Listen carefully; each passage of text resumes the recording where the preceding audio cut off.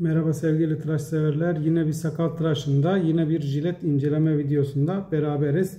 Dünyadan çeşitli jiletler, jilet markaları inceleme videolarımız, videomuz devam ediyor. Bir ayarlayalım dur. Herhalde ayarlı mı? Yandırıyor ya her neyse. Bugün de yan olsun biraz. Ee, Bugün ne inceleyeceğiz? Bugün The Gentleman Classic demiş. Şöyle gösterelim yakından. Made in India diyor. Made in India demek Hindistan malı demek. Hindistan üretimi bir jilet demek. Hop açıyoruz. İçinde bir kağıt daha var. Hemen şöyle alalım. Evet ambalajı yine mavili muvili bir ambalajı var. Hindistan ıı, kumaş üretiminde güzel. Gevrek bir jilet. Platinyum yazıyor. Bakalım Hindistan jilet konusunda nasıl? Ee, hemen gösterelim şuradan gene yazılarını. Şöyle e, şu tarafında gösterelim. Herhalde görülmüştür. Kameranın flash açık olduğu için yansıma yapıyor. Okumuşsunuzdur büyük ihtimalle. Jiletimizi takalım. Turuncu sturamıza. Berber Bey tıraş sabunumuzda devam ediyoruz. inceleme videolarımıza. Ee, More for You tıraş fırçasını da kullanıyoruz. Bu fırça biraz bayağıdır kullanmaya başladım. Ee, seyrek ama e, sabunu yani köpüğü içinde tutup sakala taşıma özelliği gayet güzel. Ben onu sevdim. Ee, böyle diğer fırçalara göre seyrek. Sık değil. Sık olmayınca kılların arasında daha çok sabun kalıyor. Ee, köpük kalıyor. Taşıyor şeye ne anladın? Tastan cilde taşıyor. Anladınız ne anlatmak istediğimi? Büyük ihtimalle. Çok öyle edebiyat konuşamıyoruz ama sakallarımız da uzadı.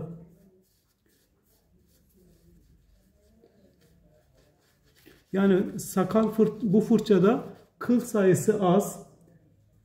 Az olunca da arada boşluklar var. Boşluklara da sabun köpük dolup tastan cilde taşınıyor. Onu demek istedim.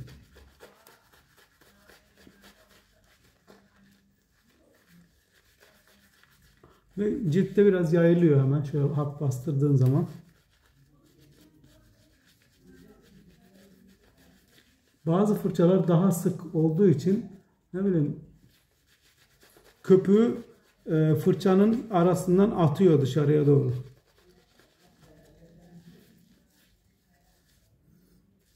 Lavanta ve vanilya kokulu berber bey tıraş sabunuyla köpük köpürtme işlemine devam.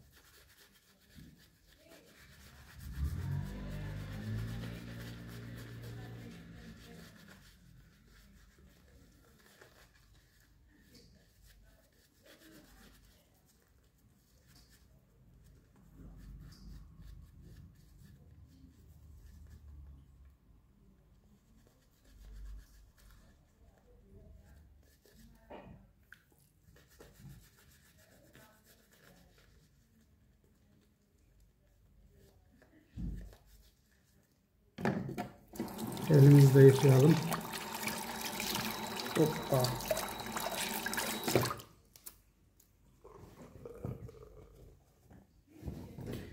Hemen şapımızı da sürelim. Usturamız elimizden kaymasın.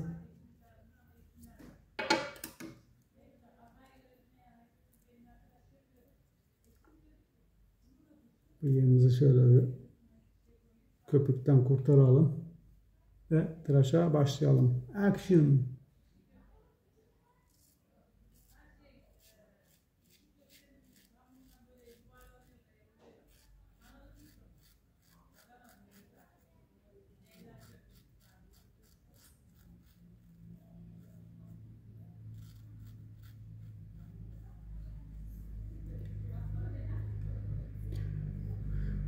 İlk izlenimlerim kesmesi güzel ama akmıyor. Birazcık tutarak kesiyor jilet.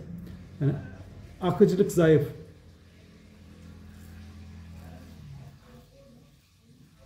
Böyle birazcık şey istiyor. İttirme, çekme, bastırma, böyle asılma istiyor.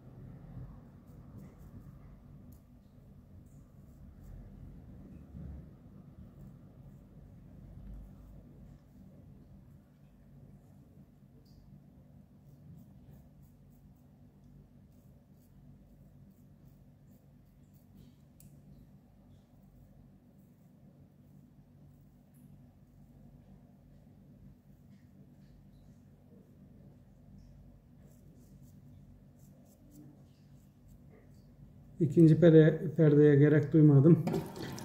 Ee, başlangıcı iyi. Ortası zayıf. Sonu kötü bir jilet. Ee, çok sert sakallara uyacağını tahmin etmiyorum. Nerede bunun kabı? Gentleman. Gen ters mi tuttuk ya? Yok. Doğru tuttuk herhalde. Ya şöyle bir jilet daha iyi olabilirdi. İş ilk başlangıcı güzel.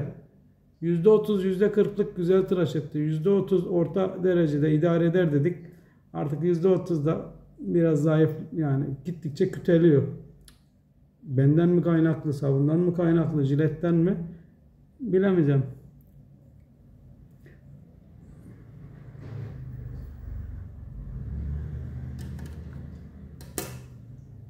Pauze yapalım. Evet tıraşımız bitti. Yüzümüzü yıkadık. Ee, yıkadık. Ciltte yani böyle bir jilet yanığı gibi, ısırığı gibi pek bir şey olmadı. Böyle hani kıl diplerine asılırsın, yolarsın ya öyle bir karıncalanma gibi bir şey var. Yani bu jiletin birazcık geliştirilmesi gerekiyor bence. Ne yapıyoruz? Bim Karayel golanyası limon. Pah. Hı hı. Üstüne de Fonex'ten sürelim.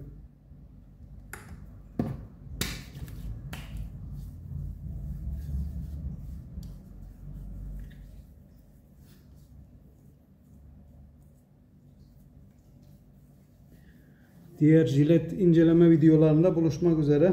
İzlediğiniz için teşekkürler. Firmalara da e, temennimiz daha iyi jiletler yapması. Rakiplerine bakıp onların ayarında güzel jiletler çıkarması temennimiz. İzlediğiniz için teşekkürler. Başka videolarda görüşürüz.